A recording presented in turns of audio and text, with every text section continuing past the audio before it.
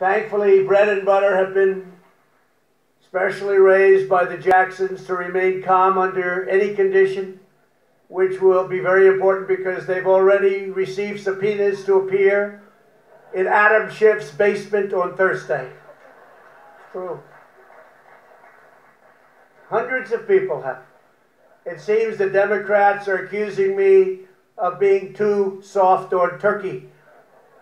But bread and butter I should note that unlike previous witnesses, you and I have actually met. It's very unusual. Very unusual. In any event, I expect this pardon will be a very popular one with the media.